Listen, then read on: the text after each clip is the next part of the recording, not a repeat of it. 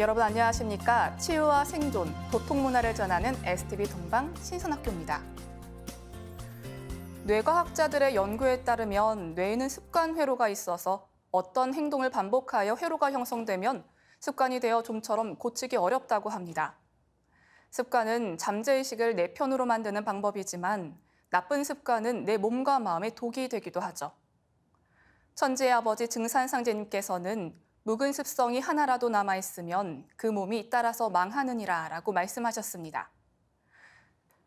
생각이 아무리 바르고 순수하더라도 평소 나쁜 생활 습관을 고치지 않는다면 결국 몸과 마음은 병들게 되는데요. 조화 빈몸, 빛의 신선몸을 만드는 삼신조화 수행을 꾸준히 하면서 건강한 생활 습관도 함께 만들어가면 좋겠습니다. 이어서 지구촌 개벽 소식입니다. 먼저 코로나 바이러스 현황 보겠습니다.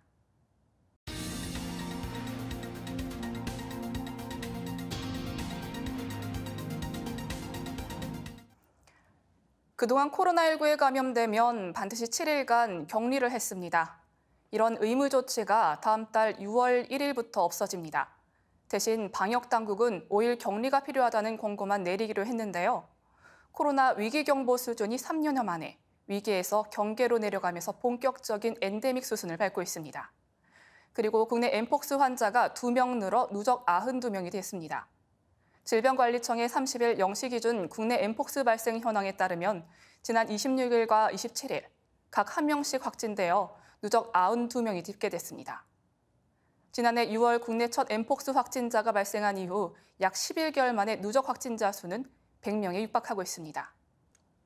헤럴드 경제에 따르면 5월 24일 개최된 제3회 헤럴드 환경포럼에서 남성현 서울대학교 지구환경과학부 교수는 바다가 기후에 민감하게 반응하고 심대하게 영향을 준다며 바다가 기후 조절자인 이유라고 강조했습니다. 남 교수에 따르면 바다는 지구에 축적되고 있는 열의 93.4%를 흡수합니다. 나머지 6.6%를 대기, 대륙, 극지방의 빙하나 빙산 등이 맞습니다. 즉 지구가 뜨거워지면 그 열의 대부분이 바다로 쏠린다는 것인데요. 1970년부터 2010년까지 40년간 바다가 흡수한 열 에너지만 약 20제타둘에 달합니다. 남 교수는 1초마다 원자폭탄이 4개씩 폭발하거나 지구의 모든 사람이 24시간 내내 전자레인지 100개씩 가동하는 수준이라고 전했습니다. 이렇게 해수 온도가 올라가고 빙하 빙산이 녹으면 반사율이 떨어져 바다 온도는 더 올라가는 악순환에 직면합니다. 전례 없는 폭우와 홍수, 반대로 가뭄과 산불 등이 더 강하고 빈번하게 발생하는 것도 바다의 변화와 연결돼 있다는 게 남 교수의 설명입니다. 마침 5월 31일은 바다의 날입니다. 바다의 날은 바다의 중요성을 국민에게 알리기 위해 1996년에 지정된 법정 기념일입니다. 당시만 해도 바다가 주는 혜택과 자원 개발에 더 집중하던 시대였는데요.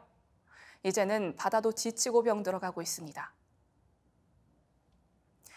일본에서 정부 부처 공무원에 대한 인기와 위상이 갈수록 하락하고 있는 가운데 외무성 고위관료 출신인 인사가 이러한 현실을 개탄하며 근본적인 원인 처방을 촉구했습니다.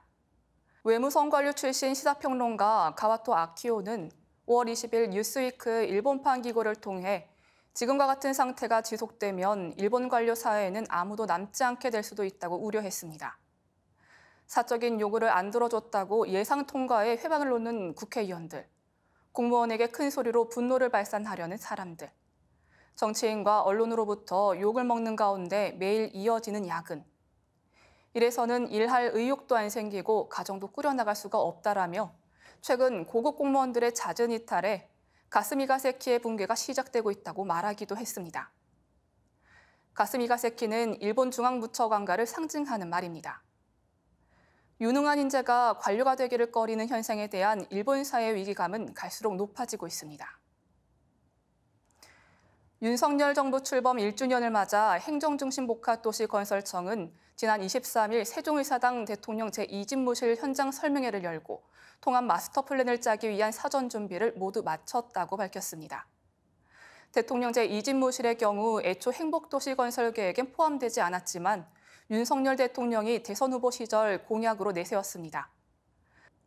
통합 마스터 플랜은 세종의사당 개발 실시 계획뿐만 아니라 대통령 제2집무실 입지와 적정 기능, 규모, 건축 배치 계획 등이 모두 담깁니다. 행정기관이 모여 있는 세종중앙행정동에서 차량으로 5분 거리의 세종동에 S-1 생활권 부지가 나옵니다. 지금은 허허벌판이지만 국회 세종의사당과 대통령 제2집무실이 들어설 곳입니다. 원수산과 전월산에 둘러싸여 있고 앞으로는 금강이 흐르는 입지인데다 바로 앞에는 국립세종수목원과 국내 최대 인공호수인 세종호수공원 등 녹지와 문화공간이 조성되어 있습니다. 건너편 원수산 자락에는 국무총리 공간이 자리해 있는데요. 국정 중심이 행복 도시로 옮겨지는 것입니다. 행정중심 복합도시 건설청은 앞으로 실질적 행정 수도를 차질 없이 완성해 나갈 것이라고 밝혔습니다. 이어지는 순서는 상생 라이프입니다. 오늘은 박준수 교육위원님을 모시고 빛의 인간, 후천 인류에 대해 알아보겠습니다.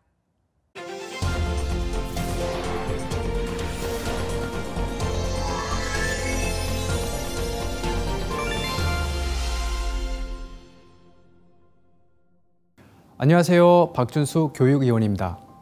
오늘은 저와 함께 선천 성자들의 가르침으로 알아보는 빛의 신선이 되는 후천 인류에 대해서 말씀을 나눠보는 시간을 가질까 합니다. 먼저 종도사님의 말씀 영상을 보겠습니다.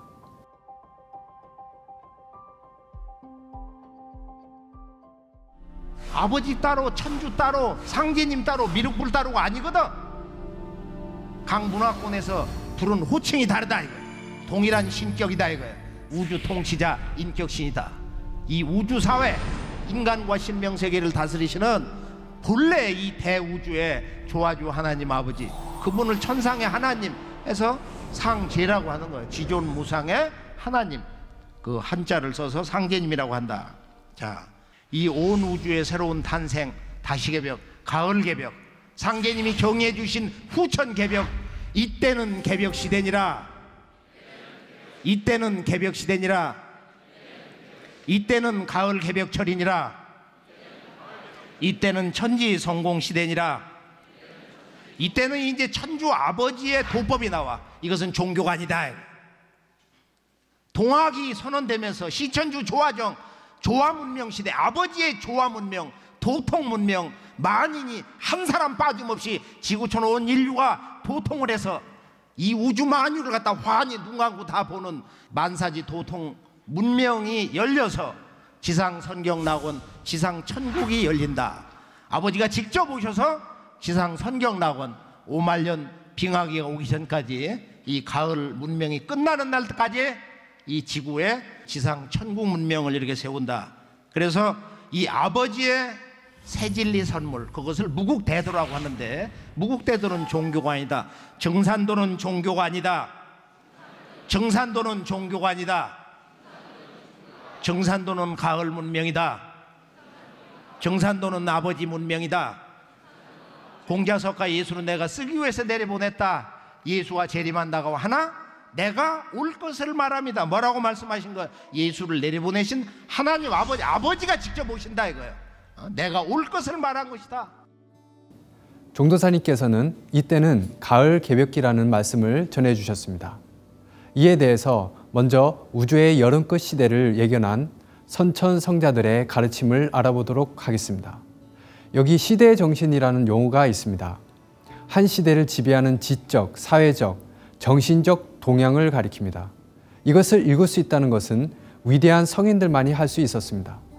보통 사람들은 내가 무엇을 위해 태어났는지조차 모른 채 땅으로 돌아가지만 성인은 자신뿐 아니라 세상의 정체를 파악하고 그 시대에 꼭 해야 할 일들을 미리 예견하여 사람들로 하여금 깨달음을 얻도록 하였습니다. 예수님과 석가모니께서도 이러한 영성을 가진 위대한 분들이셨습니다. 이분들의 공덕 중 하나는 이 세상이 지금처럼 극적으로 어려운 시대를 맞이하는 때에는 새로운 분이 오셔서 새로운 세상이 열린다는 바로 그 시대 정신을 일깨워 주었다는 것입니다. 하지만 구체적으로는 그 시대가 언제인지 말해주지 못했습니다. 왜냐하면 우주관이 빈약했기 때문입니다. 그렇기에 그분들도 하나같이 세상이 바뀔 때는 사람들로 하여금 우주관을 깨닫게 해주는 그분이 직접 오신다고 하셨던 것입니다. 그분은 예수님을 보낸 아버지 혹은 석가모니를 보낸 미륵불이시며 그분이 바로 증산 상계님이십니다. 상계님께서는 우주 입법으로 지금의 시대 정신을 한마디로 정의해 주셨습니다. 바로 우주에 가을이 온다는 것입니다. 그리고 안경전 종도사님께서는 우주 일련은 입법을 드러낸 정신문화의 원형이라고 밝혀주셨습니다. 이러한 우주관을 대략적으로 알려준 분이 예수님입니다. 예수님은 마태복음 13장 36절을 통해 추수 때가 세상 끝이라고 말씀했습니다. 이 말씀은 우주관이 결여되면 자칫 왜곡해서 알아들을 수 있으나 요한계시록 21장 1절을 같이 보면 이 말씀이 바로 상계님의 우주 일련 소식이라는 것을 알 수 있습니다. 새 하늘과 새 땅을 보니 처음 하늘과 처음 땅이 없어졌다. 이 말씀들을 종합해 보면 바로 지금이 우주 여름의 하늘과 땅의 시대의 끝을 의미하며 동시에 우주 가을의 하늘과 땅의 시대가 온다는 것을 쉽게 알아차릴 수 있습니다. 예수님뿐만 아니라 영성이 충만했던 석가모니께서도 월장경을 통해 말법 시대가 끝나고 십방 정토 세계가 열린다는 소식을 전해 주었습니다. 말법 시대가 들어서면 별들의 위치가 바뀐다는 표현은 구대 행성의 궤도에 변화가 생긴다는 말이며 이는 전 지구적인 개벽 상황을 말해줍니다. 그때는 물이 말라버린다고 하였는데 현재 식수 부족을 겪고 있는 현재 인류의 상황을 설명해 줍니다. 그리고 고약한 병들이 잇따라 번진다는 말은 연속적인 코로나 변종과 원숭이 천연들을 연상케 합니다. 이러한 지적은 정확하게 우주의 여름과 가을이 바뀌는 하추 교역기를 잘 설명해 주는 것이라 하겠습니다. 이것을 우주 일련의 도표로 살펴본다면 우주의 봄, 여름에는 인류 문명이 탄생하고 성장하지만 우주의 가을에는 열매 문명, 통일 문명이 이루어지게 된다는 것입니다. 이렇게 여름과 가을이 바뀌는 이 시기에는 화생토, 토생금이라는 우주 이치가 적용됩니다. 이 토자리에 해당하는 이치가 바로 인류가 우주 가을로 넘어갈 수 있도록 다리를 놓아주시는 상계님의 강세 소식에 해당합니다. 그렇다면 이러한 우주의 주제자 강세 소식을 선천 성자들도 예견을 했을 것인데요. 여기에 대해서 한번 알아보도록 하겠습니다. 요한계시록을 보면 또 다른 천사가 여기서의 천사는 바로 하나님의 대행자 일꾼을 말합니다. 살아계신 하나님의 도장을 가지고 여기서의 도장은 실물로 존재하는 도장입니다. 이 도장을 가지고 해놓는 쪽으로 여기서의 해놓는 쪽은 동쪽이죠. 서양이 아니겠죠. 우리는 여기서 구원이 서양이 아닌 동양에서 시작된다는 것을 유추해 볼 수 있습니다. 그리고 또 다른 천사가 성전에서 나오더니 구름 위에 있는 분에게 당신의 낫을 들어 추수하십시오 라고 하였습니다. 우리는 이 부분에서 토자리에 계신 상계님께서 우주 가을에 인류를 추수하신다는 것을 알 수 있습니다. 그런데 추수는 땅에서 하지 하늘에서 하지 않습니다. 바로 이 아버지께서 동방 땅에 강세하신다는 소식을 말한 건데요. 이 소식을 선언한 것이 바로 동학입니다. 그래서 안견전 종도사님께서는 동학은 천주학의 완성이라고 말씀해 주셨습니다. 예수님뿐만 아니라 석종께서도 금차 천주지명은 왈 미륵이니 여당 귀의하라고 하셨습니다. 하늘의 주인은 미륵 부처님이니 너의 인류는 마땅히 귀의해야 한다고 말씀해 주신 겁니다. 비단 불교뿐 아니라 불교에 영향을 준 힌두교까지도 진법이 저해되고 남법이 득세할 때 나는 세상에 현현한다는 브라만의 가르침도 있습니다. 이렇듯 하늘의 주인을 나타내는 호칭은 저마다 다르지만 모두 다 같은 한 분인 천주님, 즉 상제님을 지칭하고 있다는 것을 알 수 있습니다. 이러한 천주님을 모시는 시대를 맞이했다는 바로 그 시대 정신을 선언한 것이 바로 동학입니다. 그리고 이 동학을 계승하여 인간으로 오신 증산 상계님을 모시는 참 동학이 바로 증산도인 것입니다. 다음 시간에는 이러한 선천 성인들이 공통적으로 예견한 소식, 즉 우주 가을에 빛의 인류가 출현한다는 소식을 알아보도록 하겠습니다. 감사합니다.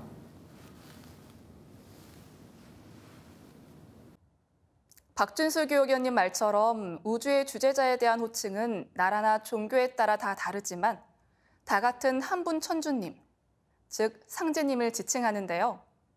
시청자 여러분들도 증산 상제님의 가르침에 귀 기울여 보시기 바랍니다. 다음은 마고 삼신 할머니로부터 비롯한 인류 최초의 경전, 천부경을 노래로 듣고 오겠습니다.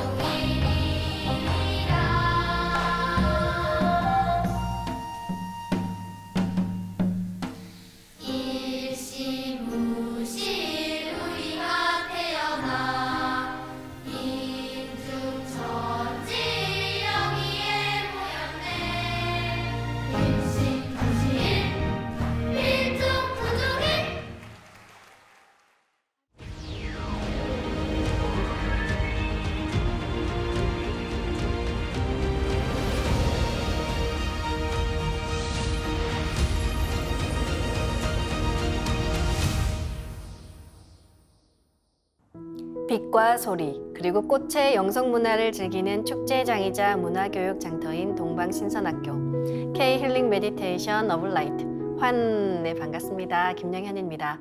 동방신선학교는 일상의 명상을 넘어 가을 개벽 실제 상황을 극복하고 후천 조화 신선 문명을 여는 생존 수행, 생활 수행을 선도합니다. 주문 수행은 대우주 삼신의 조화 빛을 내 몸에 채우는 것입니다. 안경전 종도사님께서는 주문이 천지 조화의 빛으로 광욕을 하는 것이다 라는 말씀을 해주셨는데요. 빛의 목욕, 빛의 샤워를 하는 것이 주문 수행입니다. 그리고 주문은 영어로 만트라라고 하는데요. 만트라에서 만은 산스크리트어로 생각하다 또는 마음이라는 뜻입니다. 트라는 트라야에서 왔다고 하는데요. 보호하다 또는 속박에서 자유로워지다 라는 의미를 갖고 있습니다. 즉, 만트라는 내 생명을 자유롭게 해주고 보호해주는 마음의 도구라는 뜻입니다. 주문 수행을 통해서 몸과 마음, 영혼이 빛으로 거듭나 무병장수하는 빛의 신선인간이 되시길 소망합니다. 오늘은 시작 전에 동방신선학교 유튜브에 댓글 남겨주신 소중한 체험 사례들을 먼저 소개해드리겠습니다. 닉네임 초록빛 님입니다. 옴과 훔으로 호흡하고 있으니 마음이 편안해집니다. 라고 보내주셨네요. 다음은 닉네임 테리맘 님입니다. 제가 잘 몰라도 성심으로 기도하니 아픈 부위에 알아서 들어가더라고요. 온몸으로 빛 광채를 받았습니다. 빛 광채는 부작용이 없습니다. 보은 하고 올려주셨네요. 네, 다음은 닉네임 하늘별님입니다. 언니가 설녀화를 받고 동방신선학교 수행을 꾸준히 따라 했더니 위염, 방광염, 우울증, 명치도 뚫리고 숙변도 빠지고 불면증도 없어진 사례가 있어요. 정말 신기하게 몸이 많이 좋아지니 자신감도 얻게 되었어요. 가족들에게 설녀화를 전수하고 있어요. 라고 보내주셨습니다. 네, 소중한 사례들 진심으로 감사드립니다. 대표 번호로 연락 주시기 바랍니다. 모바일 기프티콘 보내드립니다. 무병장수 조화신선 수행법에 대해 궁금한 내용이나 수행 체험 사례가 있으신 분들은 동방신선학교 홈페이지 게시판 또는 유튜브 댓글로 남겨주시기 바랍니다. 질문과 사례가 채택되신 분들께 소정의 선물 보내드립니다. 네, 오늘은 이어서 나의 신선 수행기 함께 보는 시간입니다. 오늘은 어떤 사례일지 함께 만나보시죠.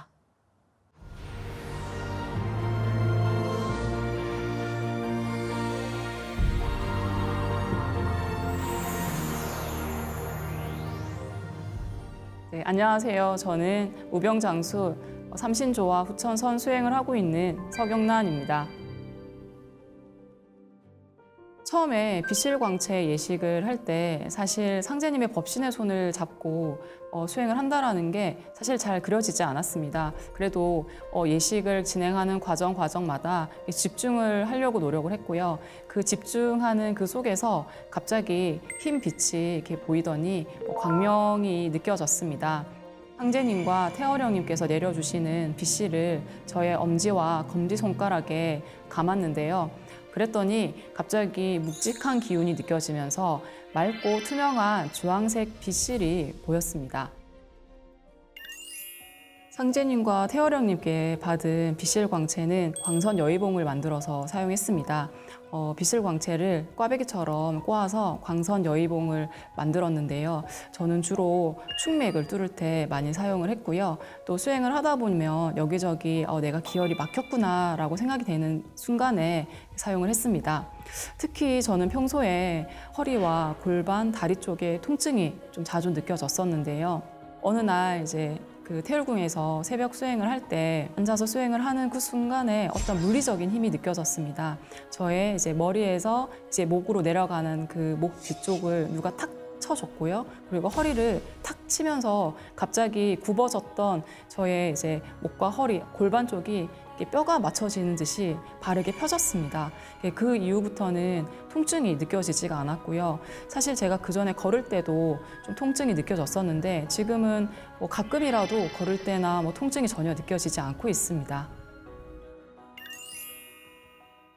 수행에 있어서 가장 기본이 되는 게 정단을 형성하는 거잖아요.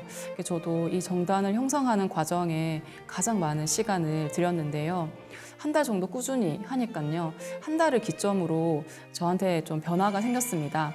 어, 몸에 팔이 갑자기 가려워지더니 어, 몸에서 아, 안 좋은 기운이 지금 빠져나가고 있구나라는 생각이 들었고요. 그렇게 이제 가려움 증상이 한 며칠 정도 지속이 되더니 멈추고 나서는 새벽 수행 시에 이제 빛들이 눈앞에 갑자기 나타나더니 꽃처럼 팡팡팡 터지면서 꽃으로 변하기 시작을 했습니다. 너무 아름다운 꽃으로 변해서요. 너무 형형색색의 꽃빛들이라서 어, 너무 기억에 남는 체험입니다. 좀 더 집중해서 수행을 하니까 내 몸 안에서 갑자기 우지끈 하는 소리가 묵직하게 들리더니 아, 내 몸에 있는 인맥과 동맥과 충맥이 뚫렸구나라는 게 느껴졌습니다. 어, 이제 이렇게 정당 형성이 이제 되면서 어, 제가 좀 건강해진 느낌이 들었어요. 사실 저는 어릴 때부터 잔병 치레도 많고 좀 약한 아이였는데요. 어, 잔병 치레가 이렇게 많다 보니까 이렇게 면역력이 떨어져 있었고 이제 감기만 살짝 걸려도 며칠씩 알아 누워 있기도 하고 했었는데요. 어, 정단 형성 수행을 통해서 저 스스로가 뭔가 든든해졌다라는 느낌이 들었고요. 그리고 또 자신감 이라든지 무언가를 또 할 수 있다라는 그런 힘이 생겨나는 듯 했습니다. 그 무엇보다도 어릴 때부터 많이 있었던 뭐 감기 등의 잔병 치레가 지금은 거의 없고요. 물론 이제 일을 하면서 받는 스트레스라든지 어, 그런 피로함이라든지 또 가끔은 몸살 기운들이 느껴지기도 하지만 금방 회복을 하고 있습니다. 그래서 제 생각에는 이 정단을 형성을 한다라는 것은 체력을 기르는 것과 같다라고 생각을 합니다. 어, 이 정단 형성을 통해서 내 심신의 체력을 기르는 과정이라고 생각을 하기 때문에 어, 수행에 있어서 그 무엇보다도 가장 중요한 어, 과정이지 않나 생각이 듭니다. 엄청 개용신을 뵙는 과정은 제가 수행을 하는 데 있어가지고 어, 너무 잊을 수 없는 특별한 순간이었습니다. 정말 무념무상으로 정말 이렇게 수행에 오로지 집중을 하는 그 순간에 딱 원천 개용신님께서 이렇게 저를 이렇게 만나러 와 주셨습니다. 어, 왼쪽에서 갑자기 빛 광명 정말 정말 밝고 어, 눈이 부셔가지고 눈을 못 뜰 정도의 광명의 빛이 들어오더니 그 빛이 새 모양으로 변하기 시작을 했습니다. 깃털은 너무너무 반짝반짝 거렸고요. 그리고 깃털의 끝부분에는 회색 빛깔의 깃털이 있었습니다. 그래서 전체적인 어, 언천 개용신님의 그 날개짓이 아, 어떻게 말을 해야 될지 모를 정도로 우아함이 느껴졌고요. 그리고 그 언천 개용신님께서 제 앞에 딱 이렇게 나란히 서 계셨는데요. 어, 그 순간에도 제가 잊을 수가 없는데 학처럼 다리가 굉장히 기셨고요. 그리고 역시나 도포 입은 듯한 그런 제복을 입고 계셨고 전체적으로 키가 크셨어요. 그리고 저를 지그시 이제 바라봐 주셨습니다. 그 이후로 수행을 할 때 가끔 언천 개용신님께서 함께 나와 함께 수행을 하고 계시구나라는 게 느껴졌어요. 왜냐하면은 수행을 하는 순간순간에 포근함이 느껴졌거든요. 그래서 어, 저에게 언천 개용신님은 그런 수행의 포근함을 주시는 분입니다.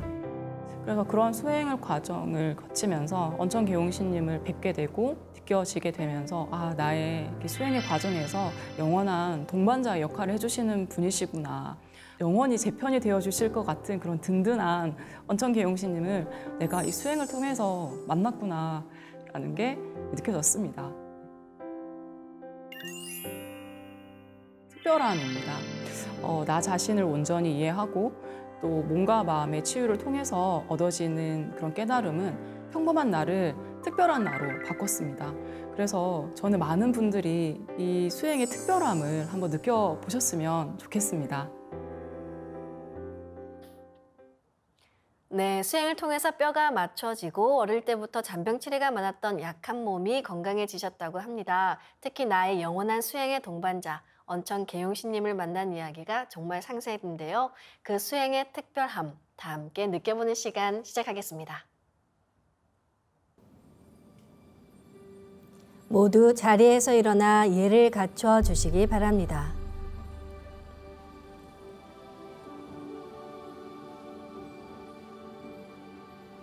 신단 앞으로 나와 청수를 열고 자리로 돌아와 주시기 바랍니다.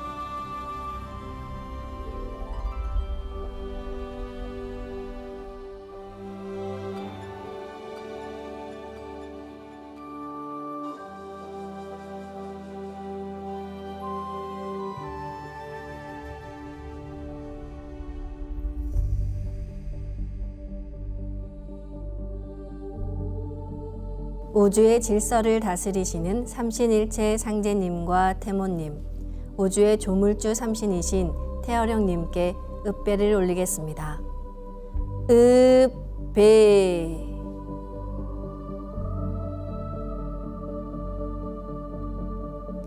바로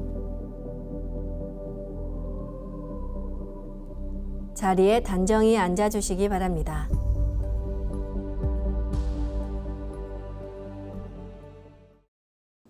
이제 방석에 앉아 잡념을 끊고 편안하게 눈을 감습니다. 맑고 순수한 의식으로 허리는 곧게 쭉 펴고 앉습니다. 그리고 마음으로 우주 원십자를 긋고 원십자를 빙 둘러 정원을 그립니다. 원십자 정중앙 영영좌표에 나의 회음을 맞춥니다. 원십자의 정중앙 영영좌표에 맞춰 앉는 순간 나는 무국의 조화 바다 속에 뛰어들어 몸과 마음을 빛으로 정화하면서 온 우주와 하나가 됩니다. 지금부터 의식은 나의 아랫배 깊숙한 하단전에 집중합니다. 하단전은 무궁한 기의 조화 바다입니다. 호흡을 할 때는 단순히 공기를 마시는 것이 아니라 무궁한 삼신조화의 빛을 마신다고 생각합니다. 천천히 내쉬는 숨에 내 몸의 탁기와 피로, 우울, 스트레스와 병의 기운 등 부정적인 모든 기운을 함께 내보내고 천천히 마시는 숨에 나의 생각으로 하단전을 열어 대우주에 가득한 삼신조화의 빛과 그 생명의 기운을 흠뻑 들이마십니다. 잠시 호흡하겠습니다.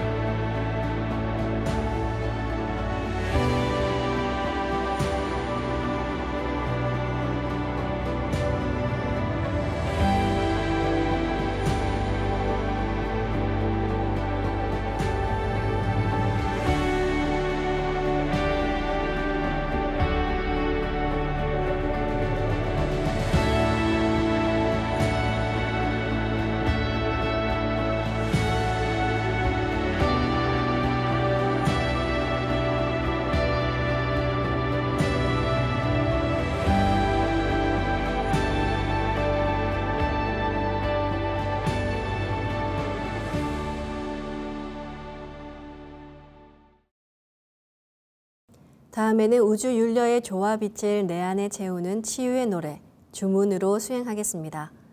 율려는 온 우주가 태어난 근원적인 빛입니다.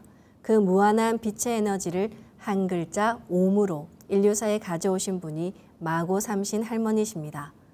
이 옴은 진화의 훔 사운드로 완성되었습니다. 우주의 율려를 내 몸에 실는 가장 지극한 생명의 근원 소리, 옴과 훔 사운드로 우리는 내 안의 생명의 빛을 깨울 수 있습니다. 수행을 할 때는 내 몸과 영혼에 율려의 빛을 채우는 마음의, 호흡식, 주문의 주, 이 의식주가 하나 되는 것이 중요합니다. 내 몸의 중심맥인 축맥을 따라 내 생각대로 나의 숨결과 주문의 빛기운이 하나 되어 백회와 회음 사이를 함께 오르내립니다. 그런 마음으로 옴 하며 숨을 내쉽니다. 옴 소리와 함께 축맥을 따라 백회에서 회음까지 숨을 쭉 내립니다. 상단의 불기운이 축맥을 따라 아래로 내려와 하단을 가득 채웁니다. 이제 마음으로 훔 하며 숨을 들이마십니다. 훔 소리와 함께 축맥을 따라 회음에서 백회까지 숨을 쭉 올립니다. 하단의 물기운이 시원하게 위로 올라가 뇌 전체를 적십니다. 지금부터 옴과 훔으로 우주의 무궁한 조화빛과 함께 소화 기운을 순환시키는 주문 수행을 함께 해보겠습니다.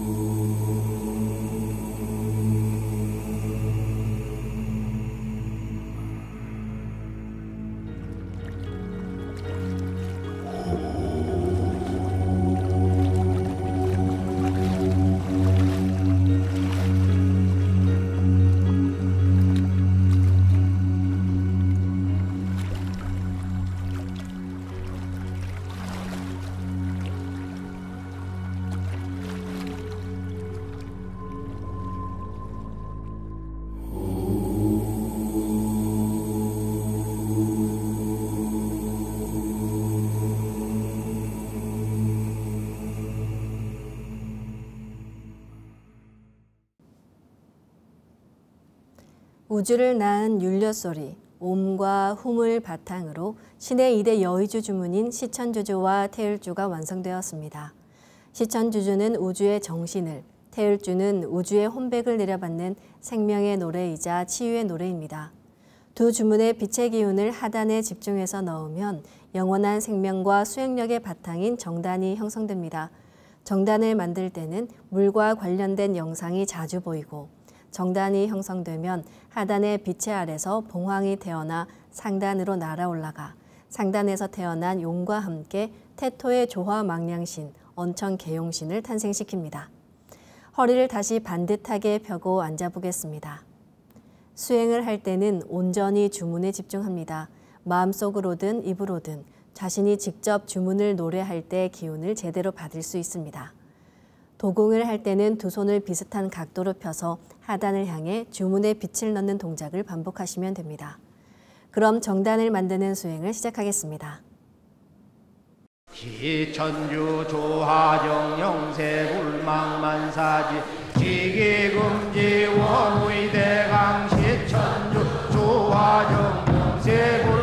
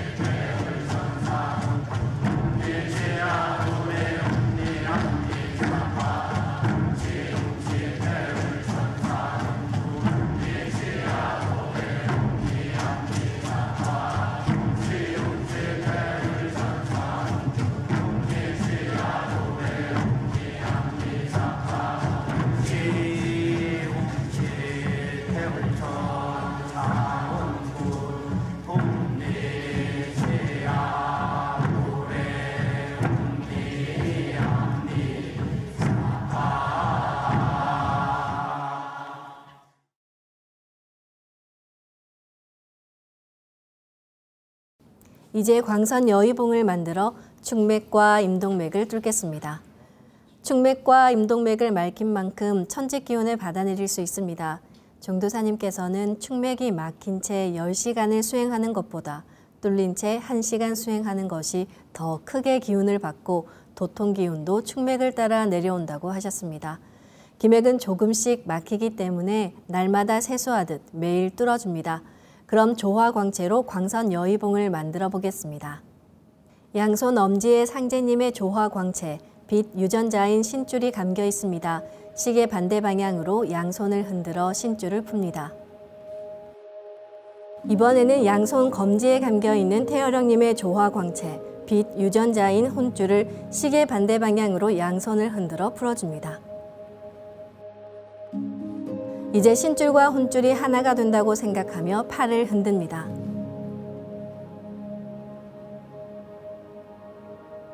둘이 하나가 된다고 생각만 해도 그대로 됩니다. 상제님의 신줄과 태어령님의 혼줄, 이 조화광채를 내려받는 예식을 아직 못하신 분들은 동방신선학교 유튜브 관련 영상을 참고하시기 바랍니다. 이제 생각으로 광선 여의봉을 축맥을 뚫기 좋은 모양으로 만들어서 나의 머리 안 백회 아래에 수직으로 세웁니다. 광선 여의봉은 몸 안에서 만들고 움직이는 것을 잊지 마시기 바랍니다. 지금부터 축맥을 따라 생각으로 광선 여의봉을 백회에서 회음까지 위아래로 이동시키며 막힌 곳을 뚫겠습니다. 손동작은 축맥을 따라 올리고 내리시기를 반복하시면 됩니다. 상제님께서는 일기가 청명하고 바람 없이 고요한 날, 깊은 물에 돌을 넣으면 소르르 들어가는 그런 마음으로 수행하라 하셨습니다. 진득하게 평안한 마음으로 일심에서 축맥을 뚫어보겠습니다. 시천주 조하정 영세 불망만사지 지기금지 원의대강 시천주 조하정 영세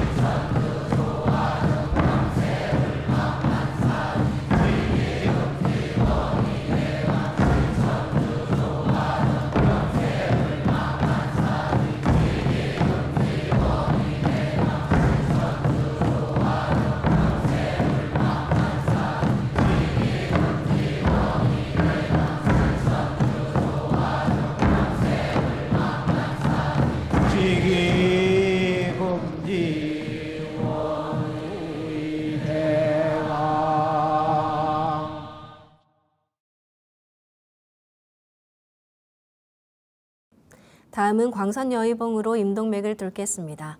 자세가 흐트러졌다면 몸을 정돈하며 다시 원십자 영영좌표에 회음을 마치고 허리를 반듯하게 펴고 앉겠습니다. 충맥을 뚫은 광선 여의봉을 회음 쪽으로 옮깁니다. 회음에서 등 쪽의 중심 라인을 따라 백회를 거쳐 입술 위까지가 동맥입니다. 그리고 입술 아래에서 회음까지 이어진 몸 앞쪽의 중심 라인을 임맥이라고 합니다. 임동맥을 뚫을 때에는 동맥에서 먼저 시작합니다. 회음에서부터 동맥을 따라 올리고 인맥을 따라 내리면서 광선 여의봉으로 막힌 부분을 힘차게 뚫어보겠습니다. 동작은 충맥을 뚫을 때와 같습니다. 태울 천사문구 내 죄야 노래 내 암리 사파 지움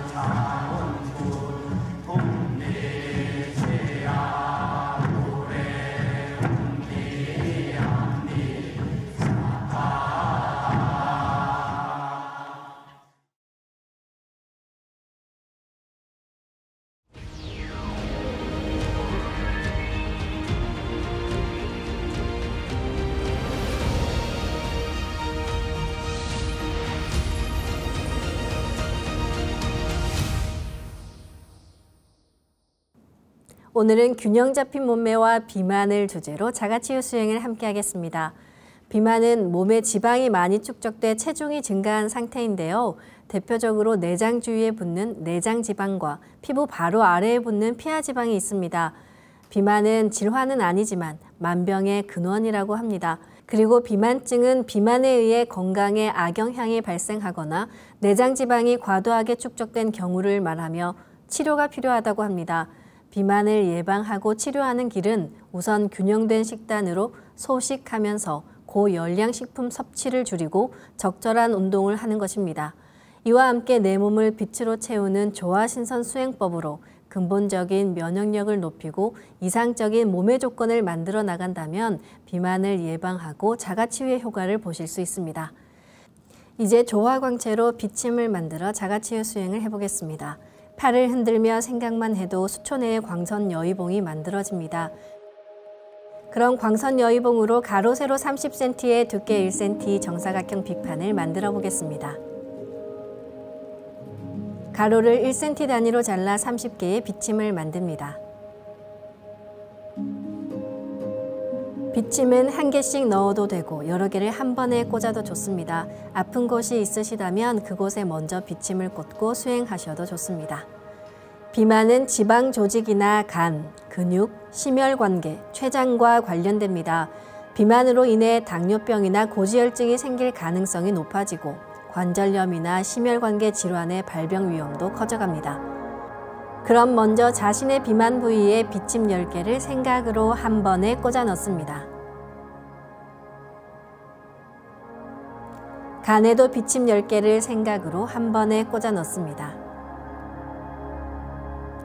췌장에도 비침 10개를 생각으로 한 번에 꽂아 넣습니다. 가로 세로 30cm에 두께 1cm 정사각형 비판을 하나 더 만들어 보겠습니다. 아까처럼 신줄과 혼줄을 풀어 팔에 가득 채우고 하나가 되게 해 비판을 만듭니다. 비판을 만들어 심장을 감싸겠습니다.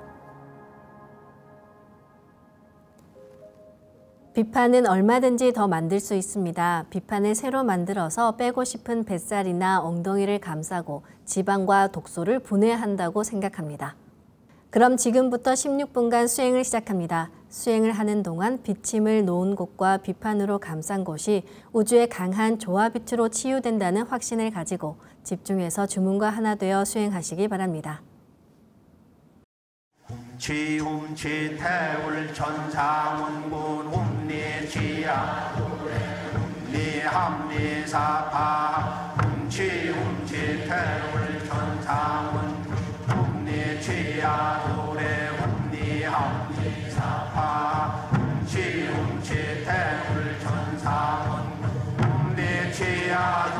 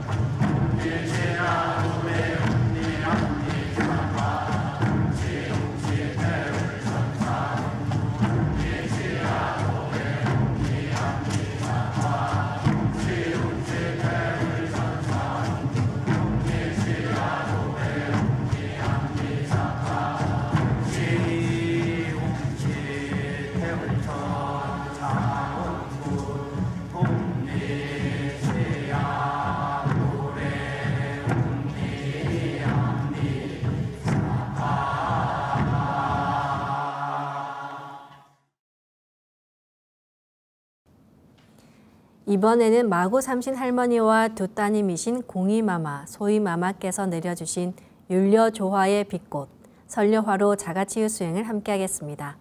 종도사님께서는 설려화가 우주의 진선미 그 자체이며 모든 가치를 집약한 조화꽃이라 하셨습니다. 이 꽃을 통해 우리는 우주의 무궁한 빛과 하나 됩니다. 빛의 생명꽃 설료와 수행을 하기 전에는 빛의 몸을 만드는 수행을 충분히 하셔야 합니다. 그래야 빛의 꽃인 설려화가 내 몸에 잘 심어집니다. 빛의 몸을 만드는 예식은 동방신선학교 유튜브 관련 영상을 참고하시기 바랍니다. 조화 광채 비침을 만들어 꽂은 부위에 설려화를 심어 분화하면 더욱 자가치유의 효과가 좋습니다. 설려화 자가치유 수행은 설려화를 내 몸 곳곳에 심은 후 분화하고 합체하고 또 분화하고 합체하는 분합 수행을 반복합니다. 먼저 생각으로 내 머리 상단에 모셔진 원본 설려화를 하나 분화합니다. 그러면 상단의 원본 설려화는 그대로 있고 원본 설려화와 똑같은 설려화가 분화돼 생깁니다. 이렇게 원본 설려화에서 몇 개든 설려화를 분화할 수 있고 분화된 설려화의 크기는 내 생각대로 조절할 수 있습니다. 분화된 설려화는 내 몸 어디에든 심을 수 있으며 설려화를 심으실 때는 설려화 줄기를 힘차게 톡 꽂아 넣으시면 됩니다. 이제 비만 예방과 자가 치유를 위해서 연관 부위에 설려화를 심어 보겠습니다. 먼저 간에 분화된 설려화를 원래 크기로 정확히 심습니다.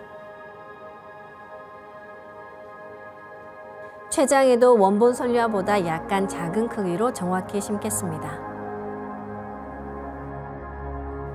다음은 심장에 원래 크기로 정확히 심겠습니다.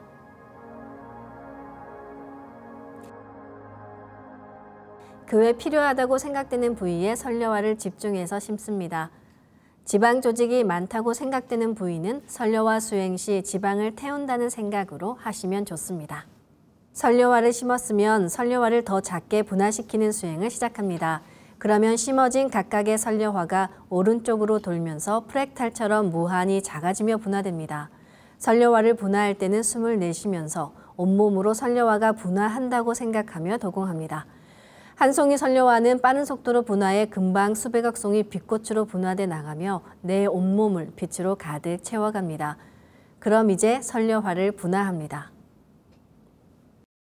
지움치 태울 천상운군 웅리 지야. 웅리 함리 사파. 웅치 웅치 태울 천상운 웅리 지야. 노래 웅리 함리 사파. 웅치 웅치 태울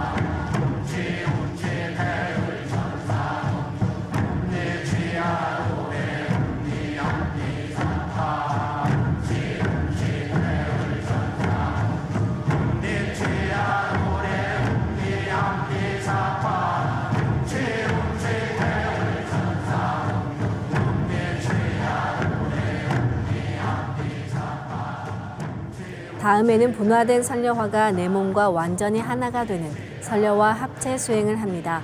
숨을 들이마실 때 설려화가 내 몸에 완전히 하나가 된다는 생각으로 수행하시면 됩니다.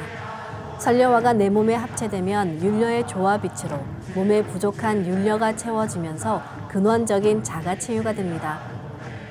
그럼 이제 설려화를 합체합니다.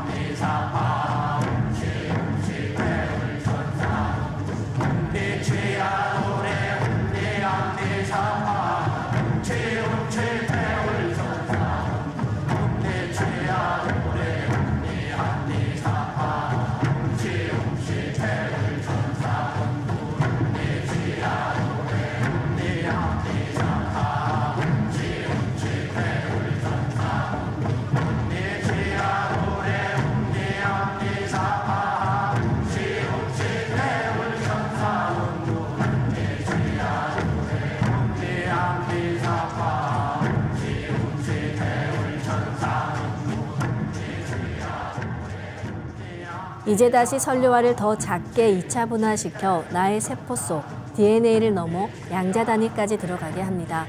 병증이 심한 곳은 설료화가 자가 치유의 과정에서 함께 녹아내리기도 합니다. 그런 곳은 설료화를 분화해 계속 심어주시면 좋습니다. 그럼 이제 설료화를 분화합니다.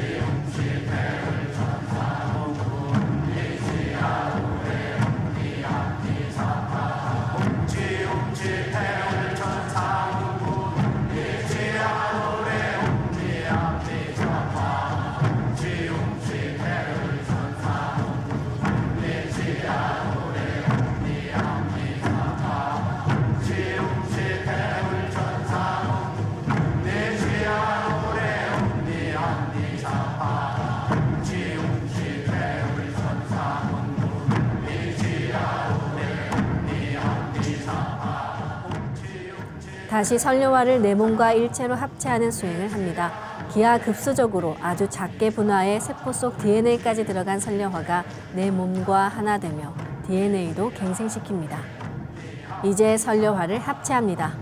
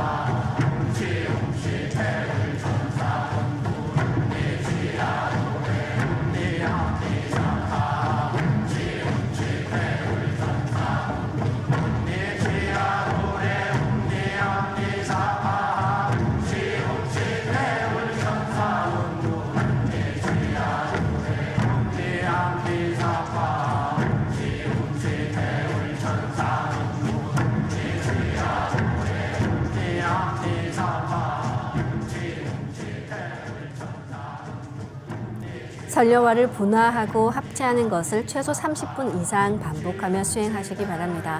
병증이 심한 분은 더 길게 수행하시면 좋습니다. 그럼 한 번 더 설료화를 분화하겠습니다. 설료화를 분화합니다.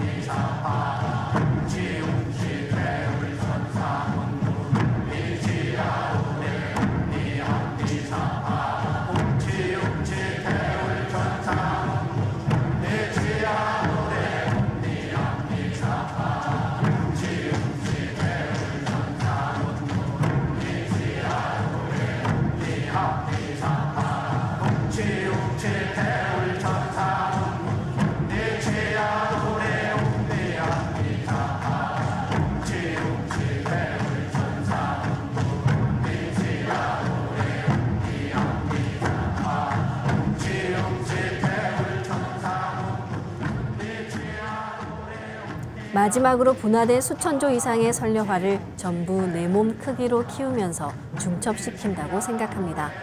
이렇게 중첩된 설려화가 나와 합일하면 내가 한 송이 설려화 그 자체가 됩니다. 이제 설려화를 합일합니다.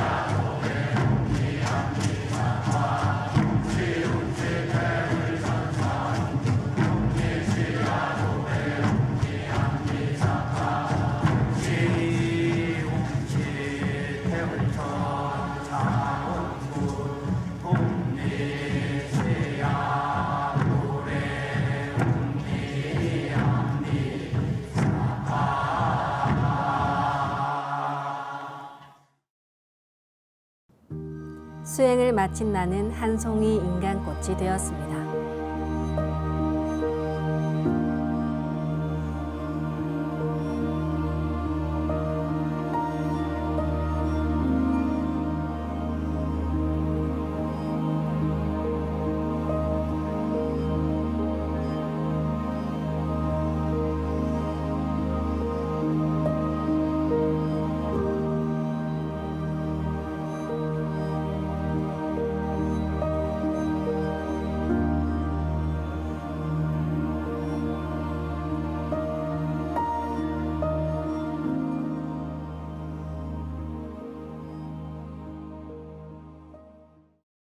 오늘 수행을 마치겠습니다. 모두 자리에서 일어나 예를 갖추어 주시기 바랍니다.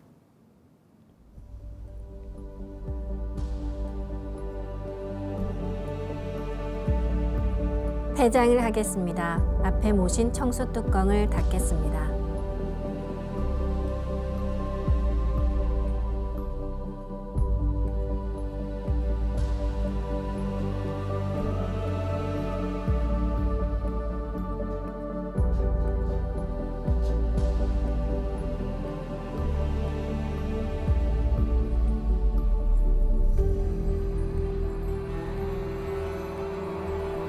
읍배를 올리겠습니다. 읍 배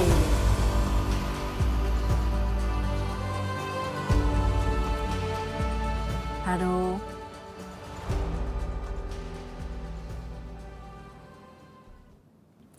오늘 수행은 잘 되셨나요?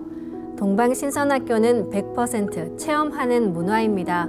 삼신일체 상제님과 태어령님의 조화법을 통해 우리의 몸과 마음, 영혼이 밝아지면서 온갖 조화를 체험하게 됩니다. 신성이 열려 망량님의 세계에 눈을 뜨고 기적처럼 건강을 회복하기도 합니다. 방송으로 다 다루지 못하는 수행 과정이 많습니다. 동방신선학교 멤버십에 가입하셔서 수행법사의 친절한 지도를 받으며 진리 공부와 함께 집중 수행하시길 권해드립니다. 그럼 다음 시간에 뵙겠습니다. 감사합니다.